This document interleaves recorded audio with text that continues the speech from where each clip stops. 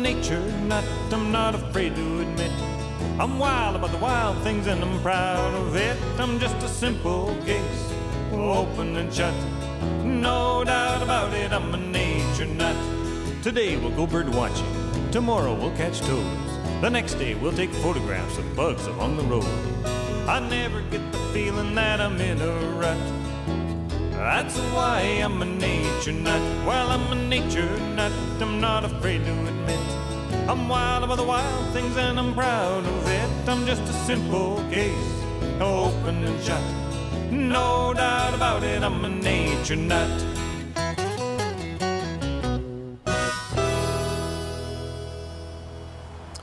You know, you might think that in order to enjoy animals, you have to be out in the wilderness. But I've got to admit, I really like zoos too.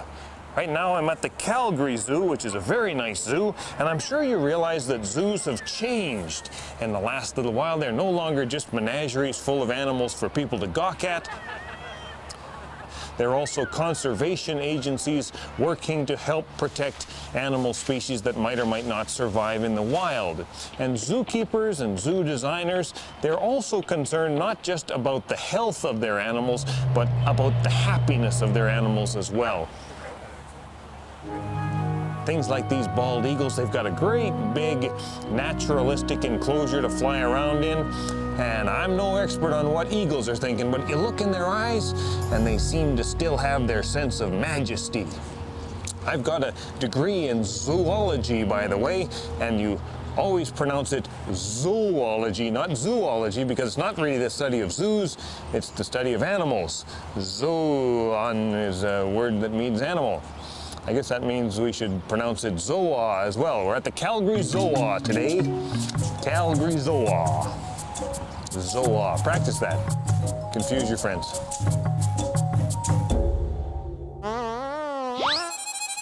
Many birds of prey in zoos were injured and could not be returned to the wild.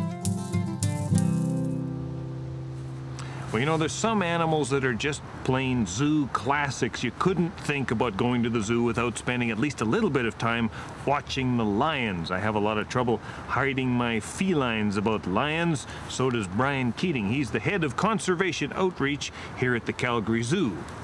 Now, Brian, you've watched lions both in the zoo here and in Africa. You've got to have a real feeling for these animals. Oh, they're they are the king of beasts. At least that's what we've been told they are. Oh, absolutely. But they're not. See, elephants really are the king of beasts. Elephants win out by sheer size. When you weigh six or seven tons, you can get anything you want, including rights to the waterhole. So elephants really are the king of beasts. Okay. But lions are the king of the predators. They're right on the top, parallel in many places with the hyenas. Very powerful animals. I'll never forget the first time I had the chance to touch a real lion. It was here at the zoo years ago. Our vets had to tranquilize our big male lion because they needed to give him a checkup and they needed to comb out his big mane, which had become unruly. So they tranquilized him, and I was lucky enough to be there. I picked up the lion's paw, and the, the, the, the paw itself felt like a couple of lead pipes wrapped in hot burlap. Right away, it crystallized in my mind this image of lions being able to break the neck of a buffalo with a single swipe. They are the king of the predators. Two lead pipes wrapped in hot burlap. Boy, that's an image. Well, they're powerful animals, and you don't realize how big they are even when you're here at the zoo. When and, until they come right up to the edge of the enclosure, maybe over at the glass window, where you can put your nose right to their nose, and you see the size of their face. Their eyes are so big they seem to look right through your eyes. They look like they're looking right through you. And in fact, many times at the zoo, I've watched family groups watch walk by the lion exhibit, and the lions immediately cue in to the babies or the little kids that are toddling along. Because of course lions are programmed to kill the weak and the easy to get. Mm-hmm. You know, they're hardwired to do that kind of killing, and that's what makes them the king of predators. So when I'm at the zoo, most of the time when I see the lions, they're just sort of lazing around. Is that pretty typical behavior for them in the wild? Lions sleep or lie around for about 23 and three quarter hours out of the day. They're professional time wasters, and they do it with such style on their back, feet straight up in the air, on their side. They're very social. They're always touching each other, head butting, doing all of this wonderful behavior. So they do spend a lot of time lying around, but they're conserving energy. Being a top predator is hard work. When they have to go and earn their meat, they've got to put a lot of energy into it. It takes incredible energy and it's dangerous to actually go out and kill things. You could get a hoof to the jaw, to the face, you could get a broken rib. It's it's it's definitely a dangerous position being the top predator. So you have to enjoy them when you come to the zoo. You have to enjoy them for what they are. Just take in the fact that they're sitting there, they're lying there, they're playing there, they're just looking around. Just enjoy them for what they are, the king of the predatory beasts. So, Brian, even though these lions are lying, you're not lying about lions, are you? No, I wouldn't lie to you, John.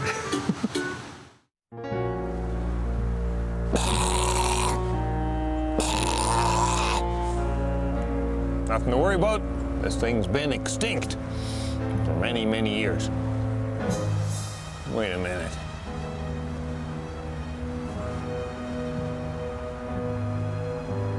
These dinosaur models are getting more and more sophisticated all the time.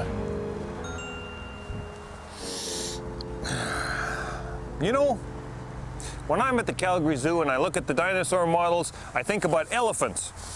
And when I look at the elephants, I think about dinosaurs because I like thinking about big animals. And have you ever noticed that big animals, even if they're not related, they have kind of the same shape? Now ignore the tail and the head on this thing right now. Doesn't this look like an elephant body to you? And the thick, pillar-like legs, the short stubby toes, the almost circular feet. All of those features go together. Biologists call them graviportal adaptations, but we just call them looking like an elephant. Of course, this Stegosaurus also has those big fins, those bony fins on the back. They were first interpreted as a defense against predators, but then paleontologists noticed that they had a lot of channels near the surface for blood vessels. They were actually also cooling fins to help this big, big body shed some heat.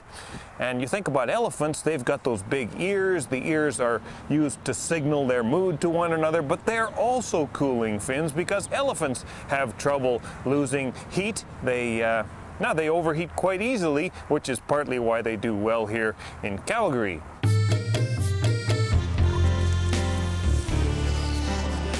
Ah, wonderful. Oh, isn't this neat? Hi, I was saying, when I see elephants, I think about dinosaurs. I'll bet you know what I'm thinking right now.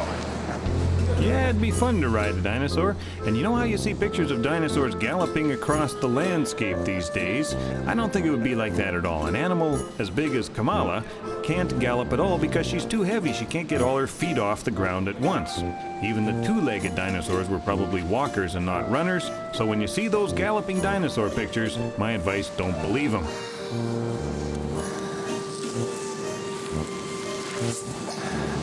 Thank you so much.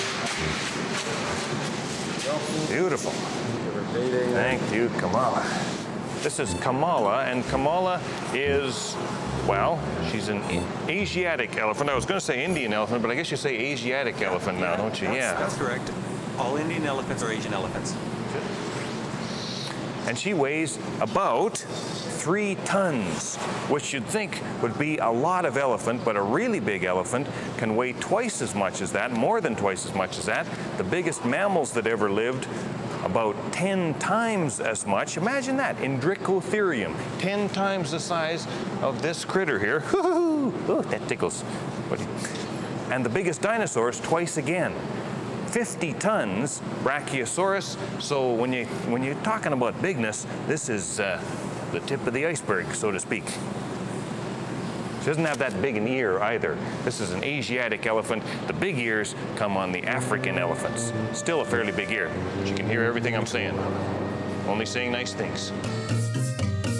Now, the one thing I'm not sure of here is the color of this dinosaur. Dinosaur modelers love to paint their models with wonderful colors, but you think about the living big animals today, elephants are kind of gray, rhinos are kind of gray, hippos are kind of gray. It doesn't seem like big animals really need a lot of flashy color. So for my money, nature knows best. I'll bet Stegosaurus was just kind of gray itself. Still a real cutie, but gray. What a cutie indeed.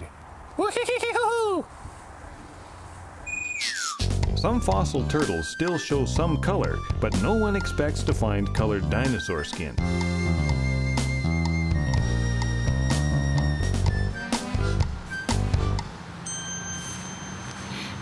You know, another fun thing to do, sometimes just go to the zoo by yourself. And that way you can spend more time just watching one particular sort of animal. Get to know individual animals. Monkeys are great for that. These are Japanese macaques. It's a type of monkey, sometimes called snow monkeys. If you watch them, you begin to realize that they have very complicated social behavior and a lot of signals that they give each other. Not uh, not language like we would use, but little body uh, body language gestures like a yawn. Shows off the canines. That's a threatening gesture. A stare is a threat as well, and they don't like it when we stare at them. They wonder why all of these funny looking primates are threatening them through the mesh. Some of the early studies of primate behavior were done in zoos, and they came to the disturbing conclusion that monkeys were naturally preoccupied with sex. And of course, those studies were supposed to tell us something about the character of our primate ancestry. Hmm, wasn't good news. Turned out they were wrong, well-adjusted monkeys, they aren't like that at all. It's just that the early zoos had their monkeys in really boring enclosures and the monkeys were bored, so what do you expect? And of course, they have complicated social hierarchies and stuff like that. You get to know these things if you spend a lot of time with a particular sort of animal. I'm not really sketching seriously here either. Just thinking that wouldn't it be interesting if monkeys knew how to make television programs? Ha! Who knows what kind of shows they'd make? Uh, don't say anything. Wouldn't be anything like this. This is sophisticated programming, and I hope you appreciate it. Yeah, that's a West African dwarf crocodile. Fully grown, it's not much bigger than a Springer Spaniel. When I go to the zoo, I love to spend time in the reptile house, especially because I think reptiles are perfect zoo animals. So many of them are what we call sit and wait predators. In the wild, they just sit and wait for food to come by, they eat, and they go back to sitting. So they like a nice, comfortable cage, just the right temperature, humidity, the foods to their liking, vitamins, minerals, good light. Ha! Excellent. But there's more to it than that. There's also a conservation angle to most reptile houses these days. There are many species of reptiles and amphibians that are now becoming threatened or endangered, and I have with me now two of those, as well as Sid Andrews, the interpretive program coordinator here. Okay, Sid. Well, welcome got, to the uh, Calgary Zoo, John. I'm glad you could be here. And we're in the reptile building with two very, very precious reptiles and amphibians. Dumeril's ground boa, which you've got in your arms, and Puerto Rican crested toad, and they're extraordinarily rare. In fact, so rare that they're in a very, very special program here at the zoo called the Species Survival Plan. And uh, that's because their numbers are greatly at risk out in their natural habitats. And so we have captive populations to try and um, boost their genetic health as well as their populations. Right. So this is not just your average everyday boa constrictor. This is an entirely different species of boa, isn't it? It is indeed. Now, this one comes from Madagascar, or at least its wild cousins do. And of course, the problem with um, uh, for this fellow is that a lot of its habitat is disappearing in Madagascar as more and more people uh, try and make a living on Madagascar and they slash and burn to prepare the land for agriculture. And it's meant that they have less habitat. And so they really are at risk. So they're in the Species Survival Plan, which is a computer dating service. And this little toad also is in the Species Survival Plan. Uh, um, they're not matched up. Not at all. Yeah, these dating services don't always work out, do they? They don't always work, no. He's waiting for a date. Um, she has one here in the reptile building. And believe it or not, these little toads are extraordinarily rare now in Puerto Rico, even because um, they're found only in the southwest, southwest corner of the island where there is a pond that they favor, and in something like four man made troughs in the northwest. I mean, one pond and four troughs, the cage in the zoo here, and a couple others like it? And a number of others in the species survival plan for Puerto Rican crested toads. My goodness. Yeah. Wow. And I can tell by the look in your eye that you're worried that this boa might just reach over and and uh, endanger that toad even further. Is comfortable in your hand? Well, I'm comfortable. That's good. He seems to be too. Yeah. Yeah. Ka is uh, a fairly docile snake, and he's uh, just shed, so he's nice and shiny, and he's quite comfortable and relaxed in your arm. That's Waiting great. for a date. Waiting for a date. Don't consider this a date. It's just an outing. An outing.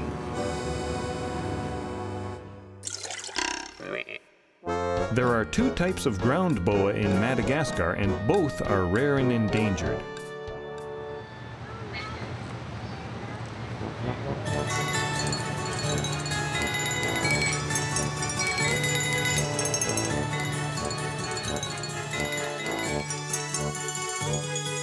Was a lovely autumn morning, early one day in the fall.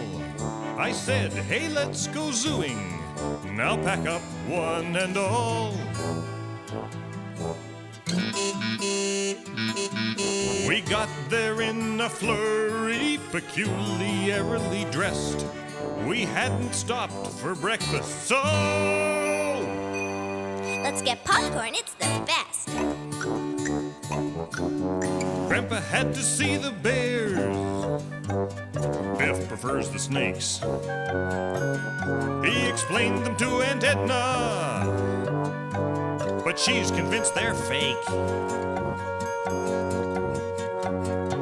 Katrina got lost in the nocturnal house. Her mother looked high and low.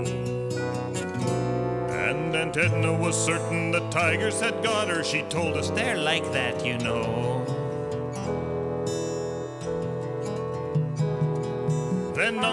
Sid regaled us with tales of jungles deep. His spiritual, personal, mystical bond with the beasts in the zookeeper's keep. Amazing true adventures with the fauna of far off lands. Why he himself had captured a male with only his wits and his own two hands. Says the largest member of its species ever brought back to life. The most aggressive on record, and I might add, the strongest smelling.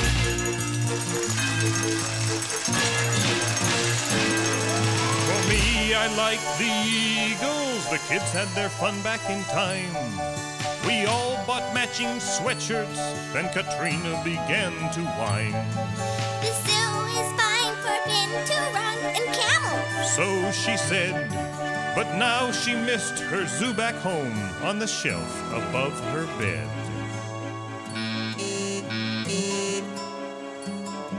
So home we drove exhausted with memories of creatures bizarre. And we never did learn how that African thing got into our family car.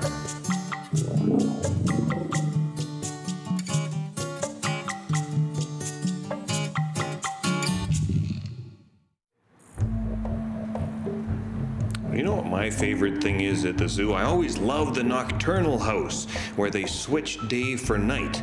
These animals, they think it's nighttime now and they're prowling around under red lights.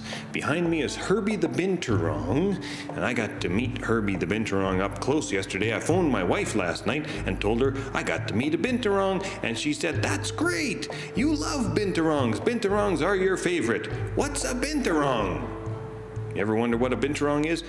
Come on around. We'll get to meet Herbie the binturong. Oh, hi, Herbie. Hi, Herbie. Come on out. Okay, let me show you a few things I learned from Barb the zookeeper. Here's Herbie the binturong. And binturongs, hi, Herbie. How are you? How are you? When you greet a binturong, you let it smell your head. Smell my head, Herbie. Hey, Herbie. Okay, This one doesn't want to smell my head. Herbie, check out my head. See? Yeah, excellent. Guess what I got? Banana. Binturongs love bananas. They're in the same family as, um, you know, mongoose and civets, things like that. And they live in Asia in forests. They live up in the trees. They have a big prehensile tail for grabbing onto branches that you can't see right now. And they're just so weird. And really nice. Herbie is kind of an older binturong, about 20 years old, about the same age as me. Great big critter, too. Uh, the interesting thing about binturongs as well is that they have a particular odor of their own. Now, here at the zoo, they claim that binturongs smell like taco chips. I've also heard dirty socks and hockey equipment, but my theory is that they smell a lot like some species of ground beetles, carabid beetles. No offense.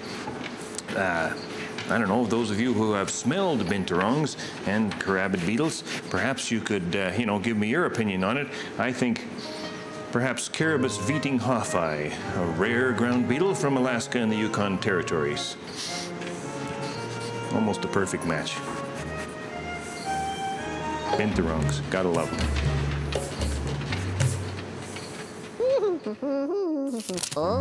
The mongoose family in Asia and Africa is comparable to the weasel family in the Americas. You know, in the old days, like when I was a kid, you go to the zoo and you'd see all these really horrible cages and bored animals doing really neurotic things like pacing up and down rolling their heads from side to side. It was kind of sad. But now things are so much better. I mean, I had a great time here. Saw a lot of healthy, happy looking animals and a group of people, a great group of people who really care about the animals here. It's, it's a whole different world. I like it. I guess that's because I'm a nature nut. And I hope you are too. See you again soon.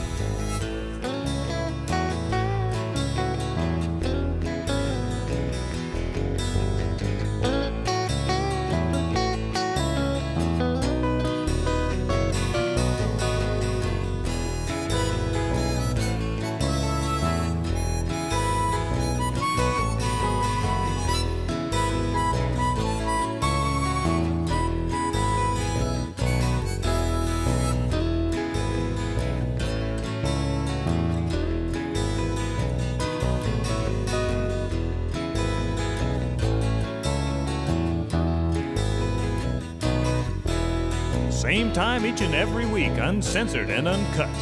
No doubt about it, I'm a nature nut.